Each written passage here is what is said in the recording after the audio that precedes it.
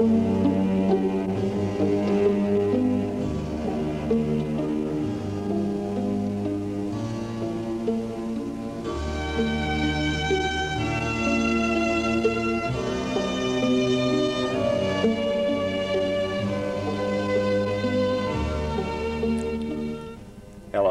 I'm Bill O'Donnell, and welcome to another program on spirituality. Uh, today in the studio, I'm thrilled to have finally as my guest uh, Dr. Fran Renda from New York City, who has come to Santa Fe to teach at the Santa Fe Institute for Spirituality on St. Therese of Lisieux, the Little Flower, one of our favorites here in Santa Fe and at the Institute for Spirituality. So it's a blessing to have you here, Fran. Welcome. Thank you, Bill. I say finally because uh, Dr. Renda came here uh, several years ago, and sadly, she had just arrived when she got news that her mother had passed away and that she had to go back. So we didn't have the same presentation. And Brother Bri Brian uh, labored and, uh, in his way, and we, we did do a program on Therese. Unfortunately, he knew. But then you came back last year and just blew us away with uh, some wonderful presentations, and it was just a great experience. So it's great to have you here. Thanks. Yeah. Uh, saint Therese is, uh, as I said, a very, a fam very famous saint. Uh, she's a doctor of the church. Uh, her relics came through uh, New Mexico back in 1999, Mhm. and you were instrumental, weren't you, in bringing those Yes, I here? It was. great. Mhm. So anyhow, for the folks at home, let's get to know you a little better and tell us about where you're from and where you grew up and how'd you get to be a uh, psychoanalyst? I come from New York City, born and raised in New York City, and um, I was a teacher for many years. Where did you teach? English. Ah, English, psychology, and religion. And the more I taught, the more I realized that the emotional life of the adolescent that I was teaching really was not the focus. And so I decided to go back to school and learn about the emotional life and to really focus on that. And so that's how I became a psychoanalyst. And so after about 20 years of uh, 12 years of teaching, I went back to school and became a psychoanalyst. what did you have to study to become an analyst? It was 12 years of psychoanalytic theory And where did you train? in Manhattan. And um, I am a licensed child psychoanalyst, child and adolescent, an adult psychoanalyst, family, uh, and couple therapist. So I cover the gamut. What is your practice like today, or how has it evolved? Over the years, it's evolved in, in interesting ways. Seventh Avenue, the fashion industry, has been a focus. Um, we won't get into that, but that's where we are. Um, the theatrical industry has been a focus. And um, many people in New York City who struggle with issues like all of us. You know, family issues, uh, work issues, couple issues, marital issues how to raise a family and um, how to be a parent and work at the same time. Very much like Therese. Therese's mother also worked and struggled with how to be a parent and how to work at the same time. When did Therese live?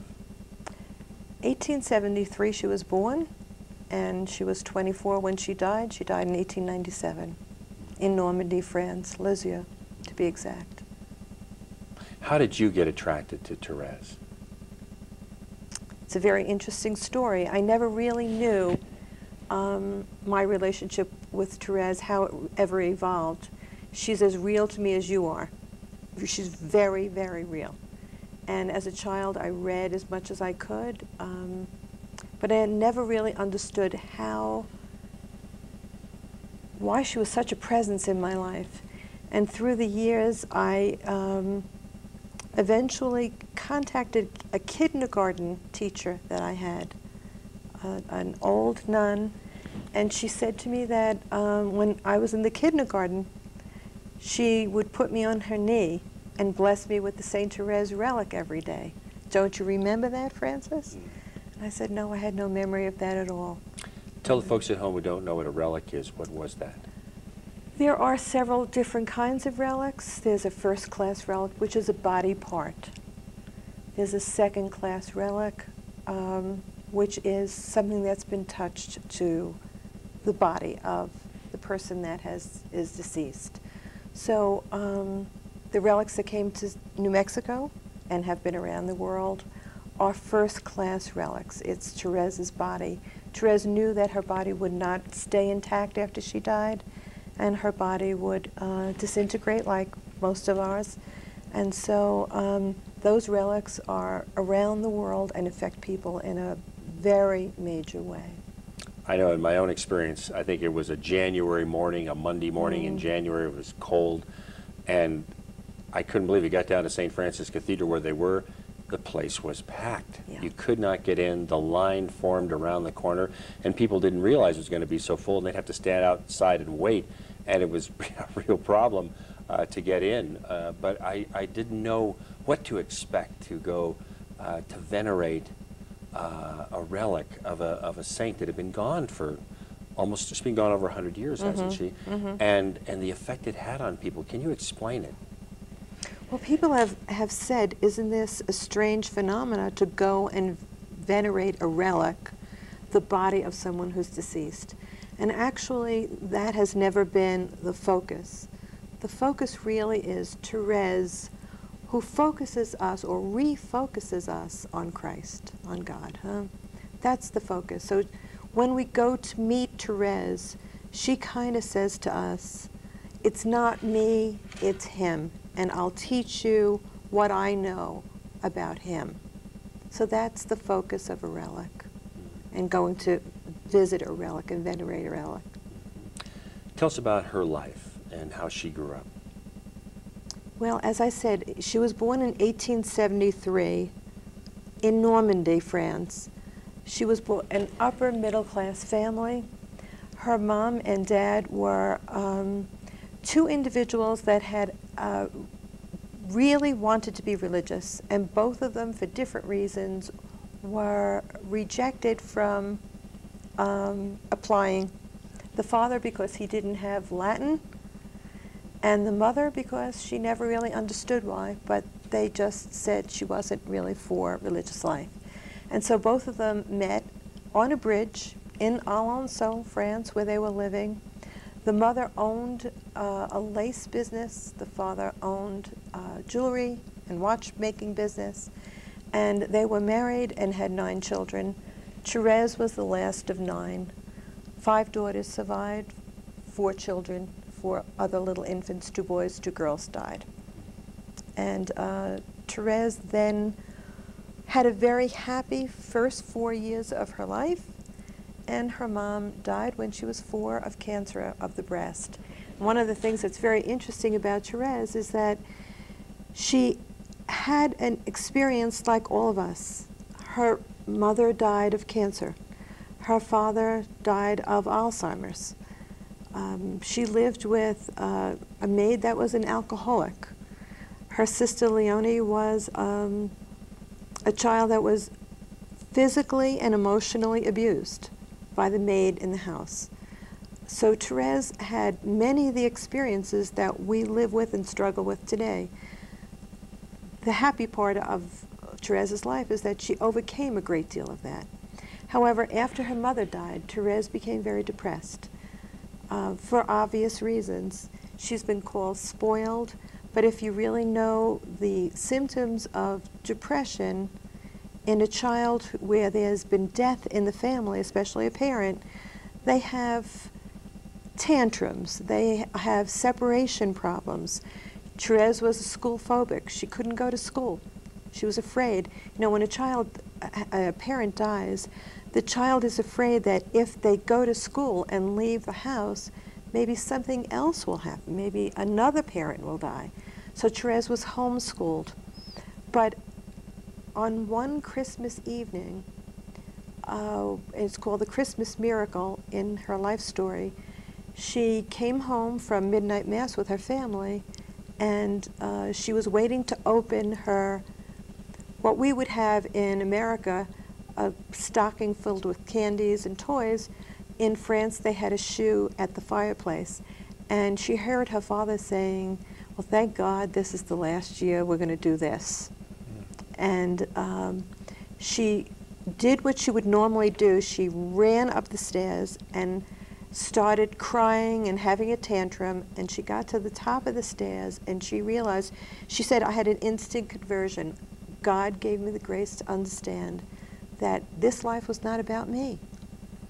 And so immediately she said, she ran down the stairs and she decided she was going to make the best of this. And although she was hurt and upset, she went over to her dad, she gave him a kiss and a hug, and she opened her little shoe with candies and toys. But it was from there that she understood that life was not about herself and not about focusing on her selfish needs, but about giving. Mm. How old was she at that time? Seven. Wow. That's Mhm. quite young, isn't it? Yes, it was. Now, she was raised a Catholic, She was raised a very Catholic Very in a very Catholic house, so- household and family. so the family was active in the church. They were going to Mass regularly. Very active. The father and mother went to the 5:30 peasant mass every morning, and uh, Therese was too little to go, but she would stay at home and she would do the praying, or they would bring her home some bread, where she could um, feel like she was receiving the body of blood of Christ. Mm. Huh? Mm. And so, what else was going on at that time? Can you set the stage? What was it like in France? I mean, of course, it's going to be traumatic for her as a young child. Her mother dies. Very traumatic. How old was she when her father died? Was that later? She was in the convent when Oh, her father was. died. So what- Equally traumatic. What year was it that she decided to, or she got the call to religious life? She was 14, and she, Therese always knew that she was going to be a nun. But what happened was, her when her mother died, uh, Therese said to her sister Pauline, I would like you to be my mother. And so Therese felt, okay, now I have a second mother, and I could also go into the convent with Pauline when she goes into the convent. Well, that's not what happened. She overheard Pauline say she was going to leave for the convent in a few months. This happened when Therese was about 11.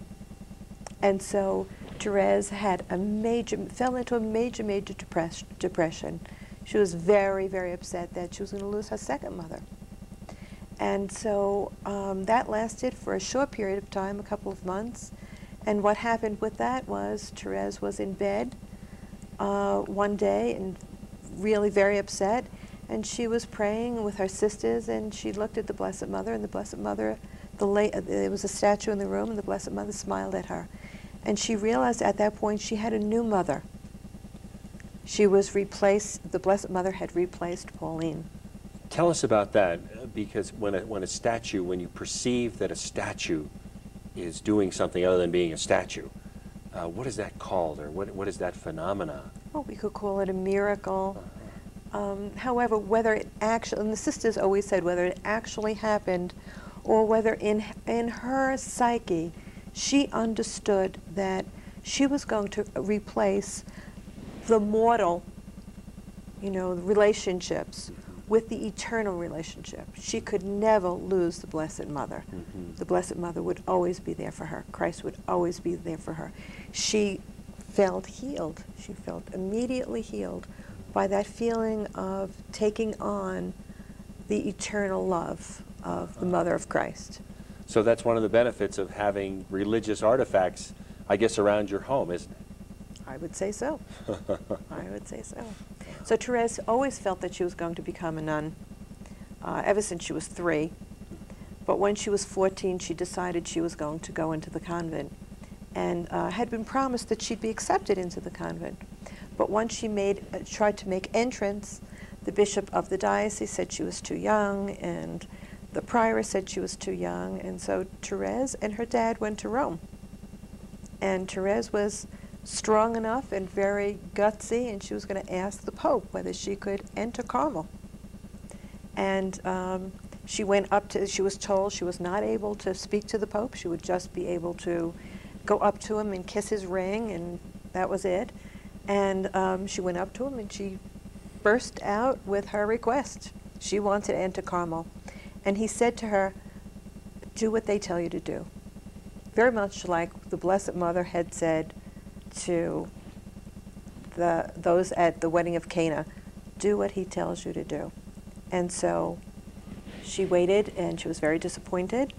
But by the time she got back, she was given permission to enter in a few months, and she did enter. Mhm. And why Carmel as opposed to any other religious order? Therese wanted to be in a contemplative community. She wanted to be alone with Christ. She wanted to love this God that she had an intense feeling with. She wanted to love him solely. She didn't want to be distracted with anything else but a total focus on him. Mhm. And so, how do we get to know about Therese today? What, how is it that we are now affected by her? And the fact that she became a, one of the very few women doctors of the church. Can you explain that? She was made a doctor of the church in 1997 by Pope John Paul II. He had made two other women doctors of the church, St. Teresa of Avila and St. Catherine of Siena. He had a great devotion to Therese. Mhm. Um, Pope John Paul II has a, had a Carmelite spirituality, and he was very devoted to Therese.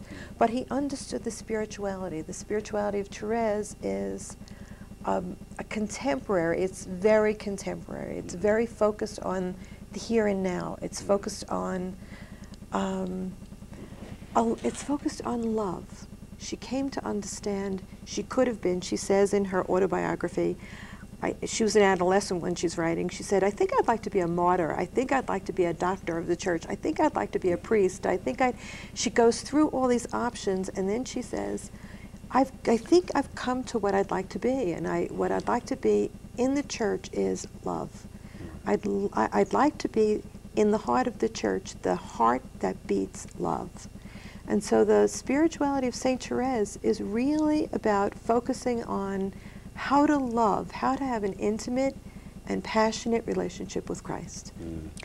It might be helpful for those out there who don't understand what a doctor of the church is. Can you explain to them what a doctor is in the church?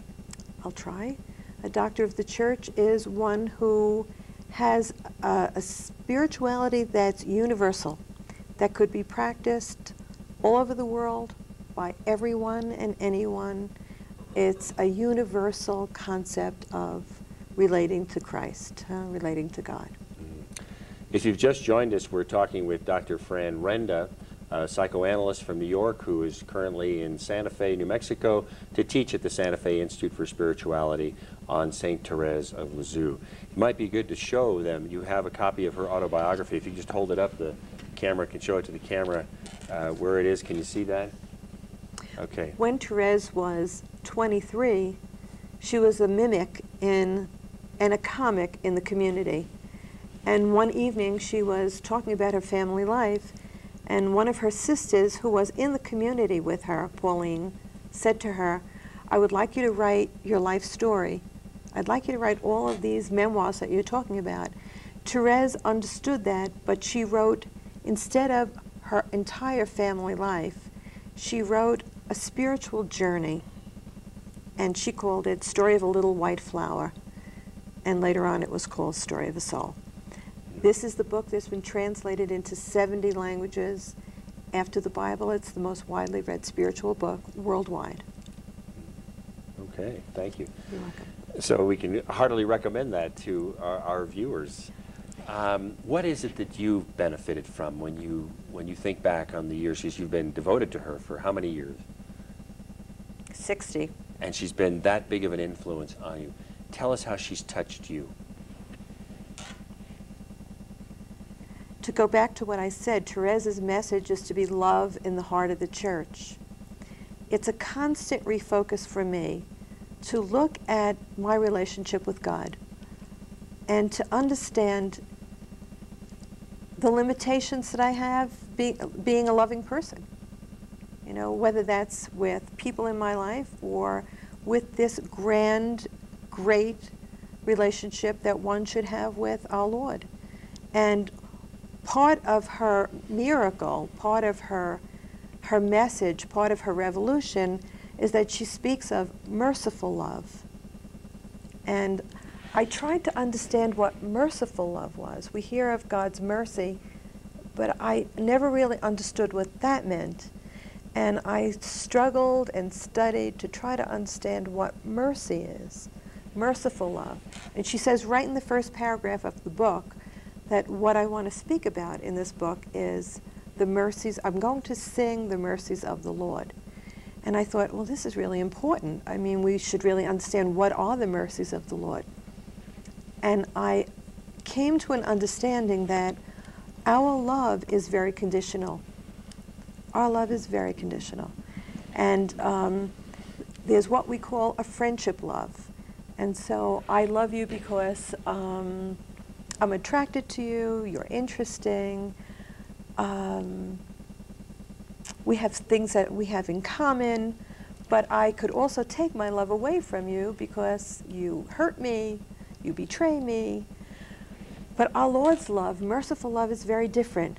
Merc- merciful love is a love that we really find even hard to comprehend. And that's after we everybody else has rejected us, after everyone else has understood us to be very broken and very limited, very sinful, God comes in and says, Now I really love you. Now, after we see that you're totally despicable, now I really love you. So it's a different kind of love. And that's what Therese's revolution is to get us to understand that the God of vengeance and the God of punishment doesn't exist. The God of love exists. The God of mercy exists. And that's a God that loves us no matter what. Mm. That's the revolution of Therese. Your comments remind me of, of what have come to be known as the highest commandment, which are found in, in book of Deuteronomy in the Old Testament, which is to love with your whole heart, Yeah. love with your whole soul, and love with your whole mind. How does that compare or how does that fit in with Therese? In the book Story of a Soul, she speaks about love, and she's continually looking at herself. She says to you basically, like St. Paul, look at me, and I'll teach you how to do it. And so she says, she comes up with a, a philosophy, a spirituality of what she called the little way. Love for her was not going to be, I'll say a rosary today, or I'll go to Mass today, or I'll say I love you today. One thing, huh? Mm-hmm. For her, love is continuous. It's every minute of every day. It's every minute of every day. So what she does is she accesses holiness for the common folk. You could love God cleaning the house. You could love God taking care of the children. You could love God going back to when she was living. You could love God um, being a farmer in the fields. It's a constant love. Everything is offered up as an act of love.